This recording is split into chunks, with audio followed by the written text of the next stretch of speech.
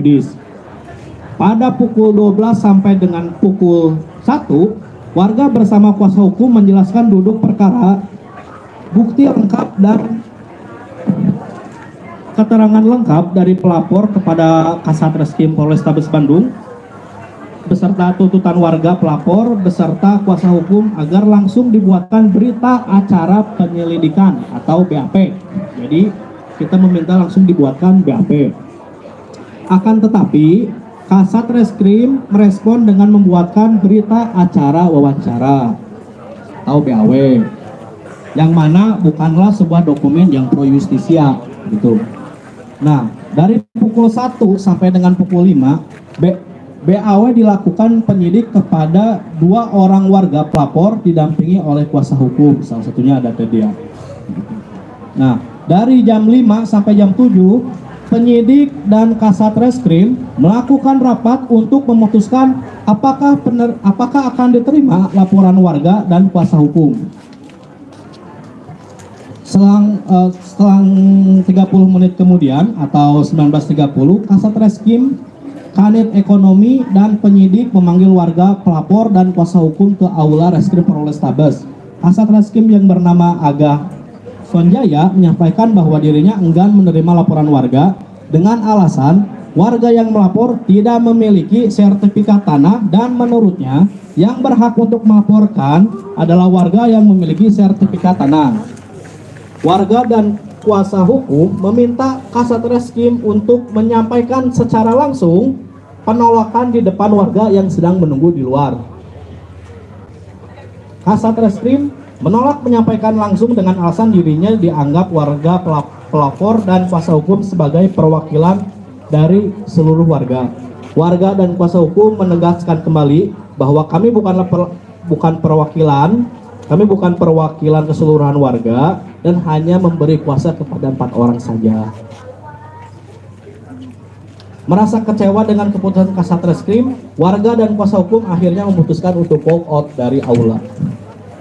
Pada pukul 19.30 sampai dengan 19.45, Rizky Ramdhani, salah satu kuasa hukum warga, menyampaikan hasil akhir dari laporan warga yang tidak diterima oleh Kasat Reskrim.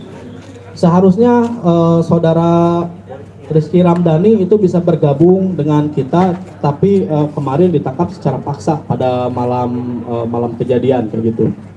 Oke, saya lanjut. Pada 1945 sampai dengan uh, jam 8, salah salah seorang warga yang merasa kecewa dengan hasil pelaporan memasuki kasat uh, ruangan kasat mem memasuki ruangan memasuki Polrestabes Bandung untuk bertemu dengan kasat dan protes uh, agar Kasat Reskrim bisa menjelaskan secara langsung hasil pelaporan kepada warga yang hadir di luar.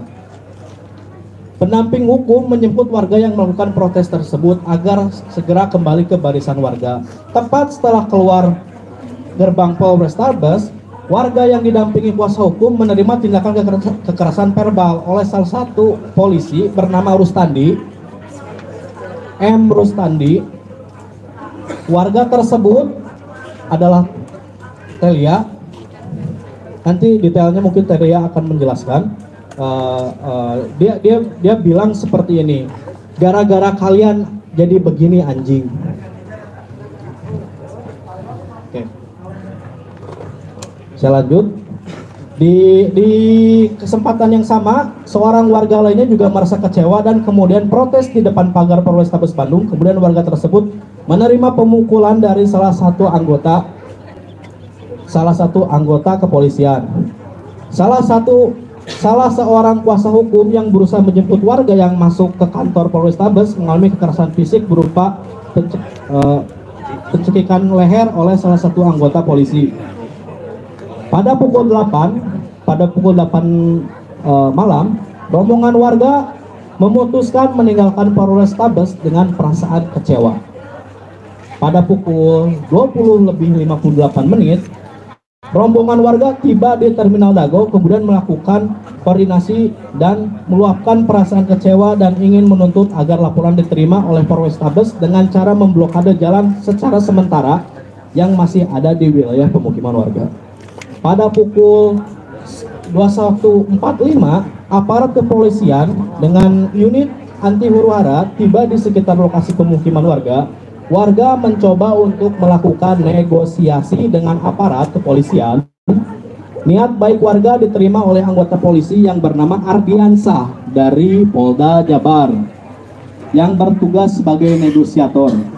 Pada do, pada pukul 10 lebih 40 proses negosiasi masih berlanjut dan menghasilkan kesepakatan bahwa proses pelaporan akan dilakukan dan dipastikan laporan warga diterima dengan cara mendatangkan pelapor dan kuasa hukum ke Polrestabes dengan syarat disepakati oleh warga untuk membuka blokade jalan secara bertahap.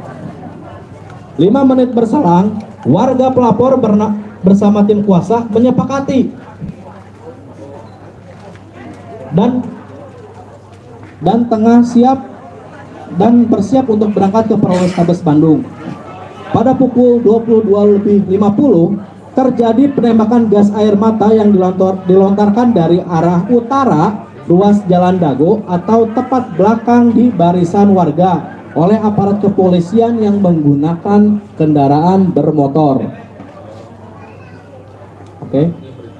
23.20 aparat kepolisian mengerahkan water cannon untuk membubarkan warga yang masih tercecer.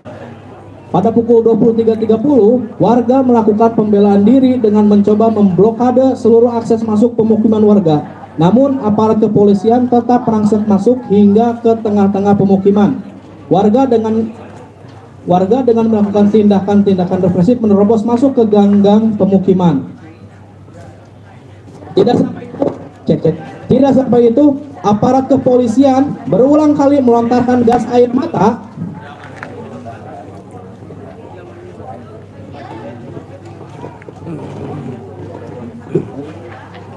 cek cek. Oke. Melontarkan gas air mata. Melontarkan gas air mata hingga masuk ke halaman rumah dan berdampak kepada balita yang mendiami rumah tersebut.